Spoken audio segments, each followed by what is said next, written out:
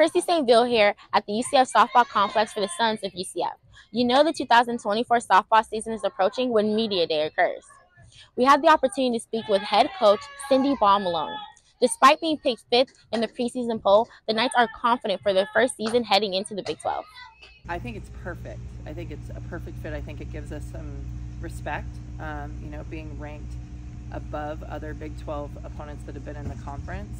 Um, so it's it's telling our, our team, our program that you know we see UCF, um, and then it's it, keeping us hungry. So as a coach, I love it. I want them to be fired up. I want them to have that um, little grit and uh, passion for proving people wrong. But they've been really training and preparing to uh, make fifth just the starting. But yeah, so Ava brings that lefty aspect, uh, but a different look than Angie, and then Sona uh, I've never seen our machines show that velocity consistently. So excited to see where um, you know she she takes us with that. So and then you we also have our freshman Isa um, Isabella Vega. She's she's a spinner. She's also an annoyer from the right side. I'm gonna say.